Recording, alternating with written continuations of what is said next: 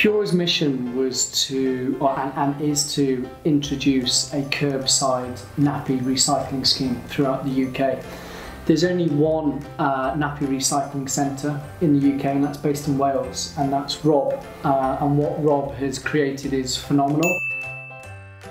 Last year we recycled 8,000 tonnes of nappies, is that right, Rob? Yep, just over 8,000 tonnes. Yeah, just over 8,000 tonnes of nappies, and that's 8,000 tonnes which didn't go to incineration or to landfill. And we turn those nappies into notice boards for nurseries and for schools, but we can also turn those into materials which can be used for affordable homes. Um, so it's really exciting.